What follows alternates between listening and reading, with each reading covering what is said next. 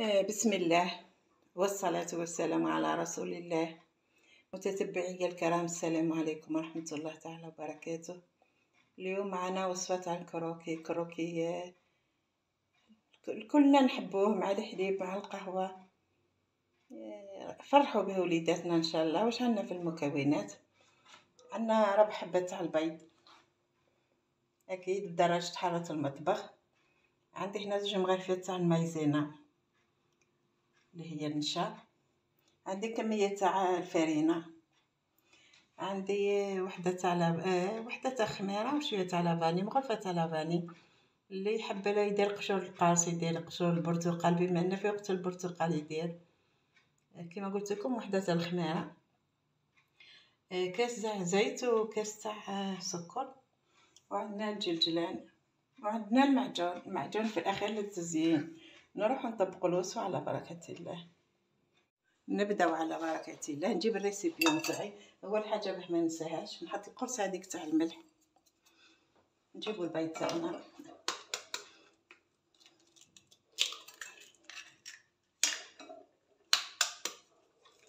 كما قلت لكم أربع بيضات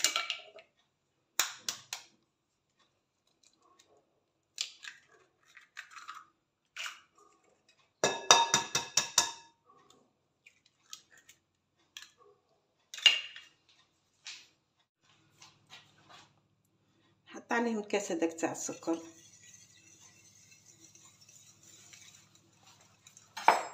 خلطهم مليح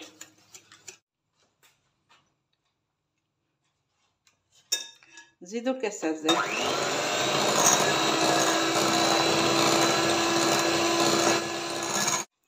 عندي مغرفة تاع تاع لافاني.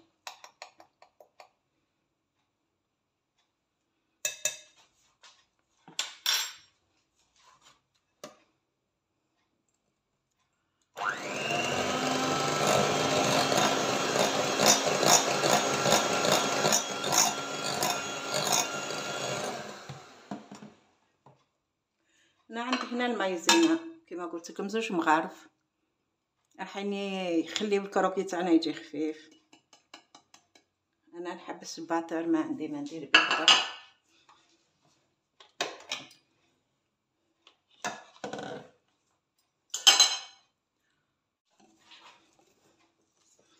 خلطوا المايزينا تاعنا هذيك.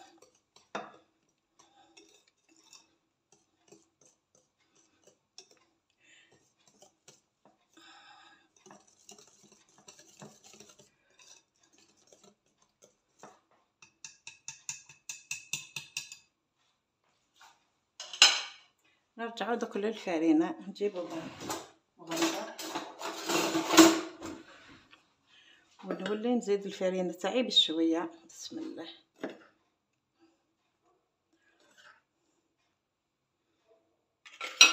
نجيب الكيس تاعي هذيك تاع الخميرة.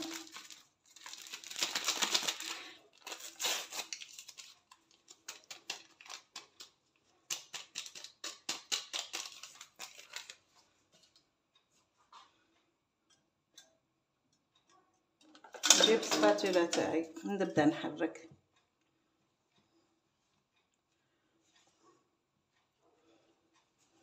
حتى نتحصلوا على على عجينة ما تجيش يابسة. تجينا طرية شوية.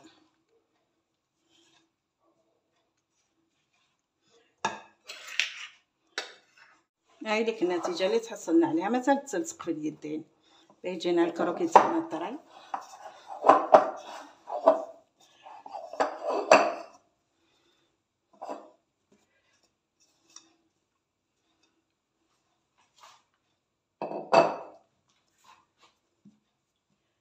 شوية تاع الفرينة نقسموهم على أربعة. نحاول نديرهم قد بعضاهم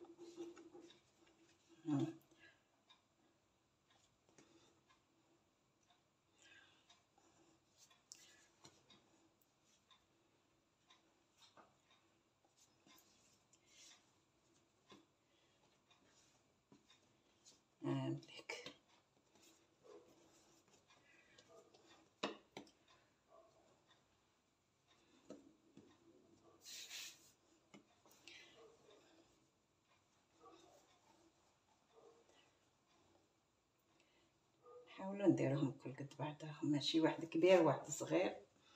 أكيد.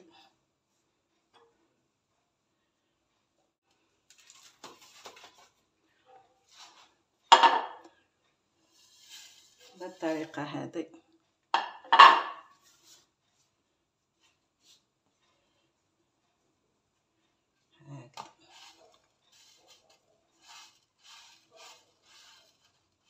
كملتهم الكل ونرجعوا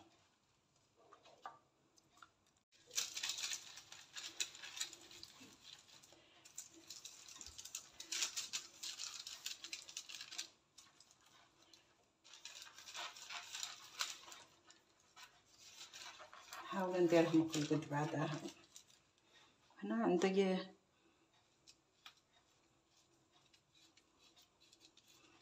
نديرهم بمكان وين حنحط المعجون من بعد كي. يطيب كاينة حاجة تانية نفهمكم فيها؟ كي كي تحطوه في الفور راح البلاصة هذه راح تطلع. زيدوا حاولوا تضغطوا عليها بحاجة أخرى هاك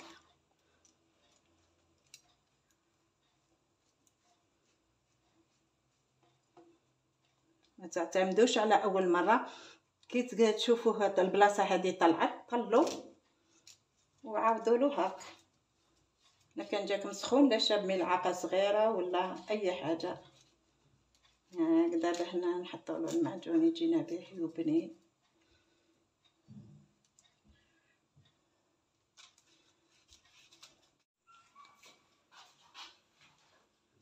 هاوليك الكروكي تاعي طاب ما شاء الله عليك.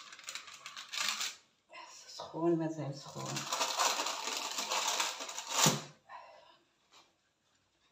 واش عندي المعجون؟ غنحطو فيها ال ما نقطعوش درك نخليه حتى يبرد تماما نسعو نقطعو.